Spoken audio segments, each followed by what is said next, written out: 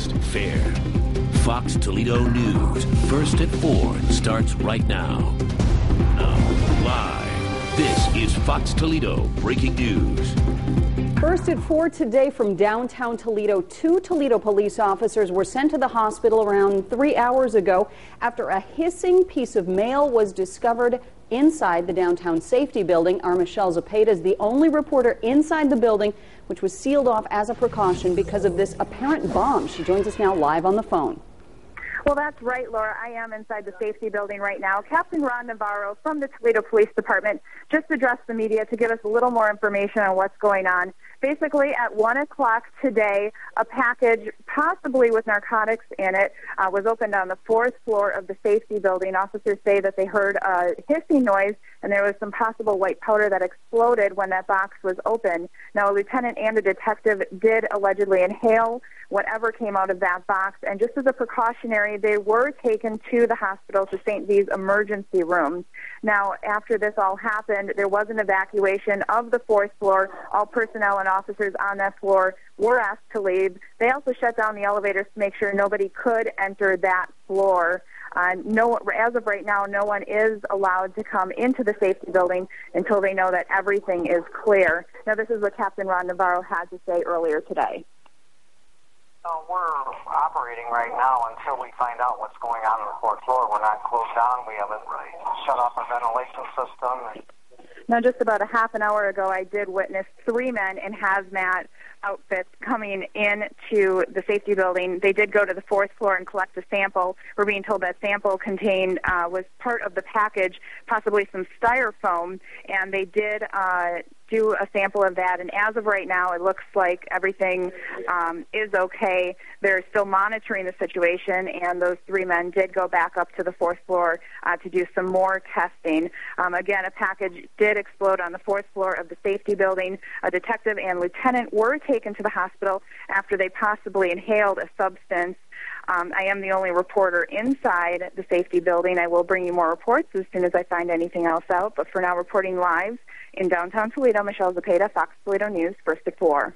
All right. Thank you, Michelle, for the information on this breaking story. Once again, you were looking at live video downtown. There were still crews surrounding the safety building, people in hazmat uniforms.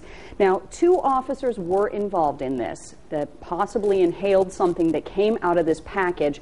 They were taken to St. V's, and we are being told that the hospital is shut down also as a precaution right now because it is not clear what that white substance is. But a spokesperson says right now it is just a precaution. We don't know what it is. Our Sean Hegarty is live at St. V's with more on this. Sean, what is going on now? Well, I can tell you that the ER is in fact shut down, and you made a good point about stressing that this is just as a precaution as they try to figure out what in fact that substance was.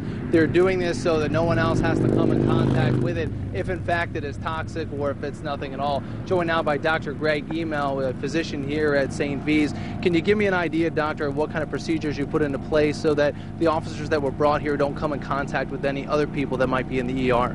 Yes, we have a, a well-trained staff that uh, go through uh, well-established procedures on decontamination of any uh, patient that does come in contact with any substances, and they usually will get uh, washed down prior to coming into the emergency department and kept separate from the rest of the, the patients. Uh, so that no cross contamination does occur. Okay, and you do this even if you know it's toxic or even if you're still unclear at this point. It's always as a precaution to make sure that everyone in here, including those two officers, is safe. Correct. We don't know what, what it is, so you always err on the side of precautions, and that's what we're doing at this point. And this, I assume, is something you train for, so this is not something new. It's something you try to prepare just in case. Correct. We have, like I said, we have well-established procedures and do a yearly, minimum of yearly training on this so that everyone is comfortable in their roles and what is expected of them and know what to do. Okay, so to your information right now, no one else has been affected by whatever this substance is? Correct. No one else is uh, affected. Okay. Well, thank you very much, Dr. Greg. Email here at St. V's.